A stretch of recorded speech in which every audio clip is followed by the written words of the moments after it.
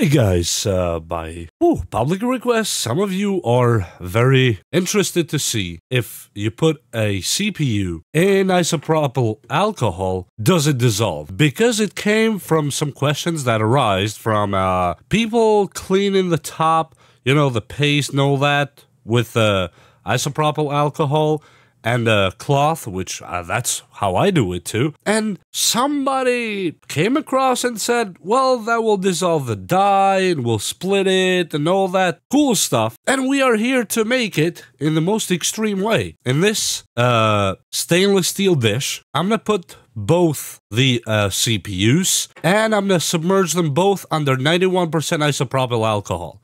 Most people to clean them use 75%. I'm to use 91%. The CPUs are old, so I don't really care even if they break completely. It's going to be an AMD from 2005, and the other one is going to be an Intel. That's 2004 or 5 if I'm not wrong. Yeah, 04.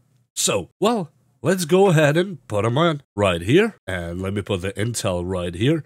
Unfortunately, the dish doesn't fit them that flat and perfect, but you get the point. That's I'm put um, uh, intentionally putting the AMD because it has those small legs under, so it holds on the air. So every contact is an alcohol and this one on top of it. And now let's submerge them under alcohol so you guys can see if anything happens. I doubt it, but we gotta see it to believe it.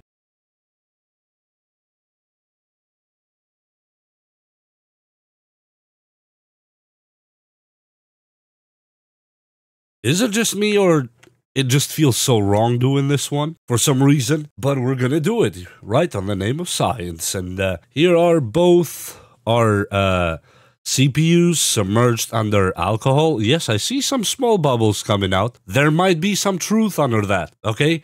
I, that's why I did not dismiss the whole claim that they will dissolve under alcohol. So that's why I'm keeping it this simple, this way. And I'll keep recording for, if it takes hours, we'll do hours. At least for an hour, for sure, unless something happens before that one hour. So far, all we had is one bubble. And you see right there, that is a bubble. And there's a second bubble coming from the AMD processor. And with that said, let's keep on going. You might see it in a sped up version of this video, but uh, in reality, these two will be underwater for as long as it takes. And here it is.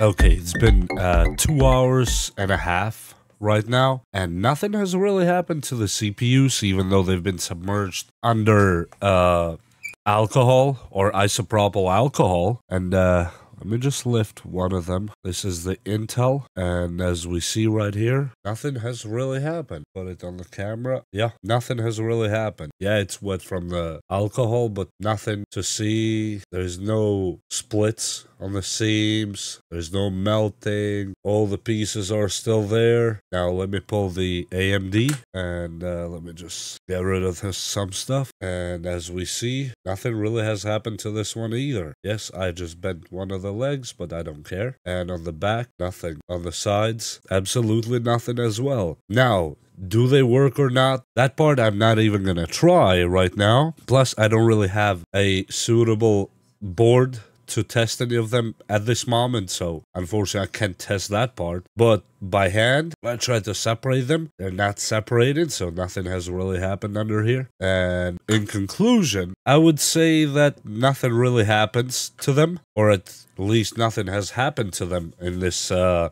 test that we did. And uh, yeah, for the whole claims that are saying that just by wi- simply wiping them, you know, to remove the paste, that's just not true. It's not gonna really damage it or kill it or melt it or whatever that, that, that claim is.